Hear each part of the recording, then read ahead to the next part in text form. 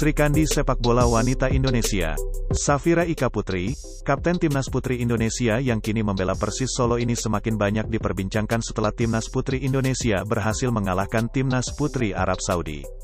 Safira Ika Putri telah memperkuat skuad Garuda Pertiwi pada Piala AFF 2018, SEA Games 2019 dan kualifikasi Piala Asia.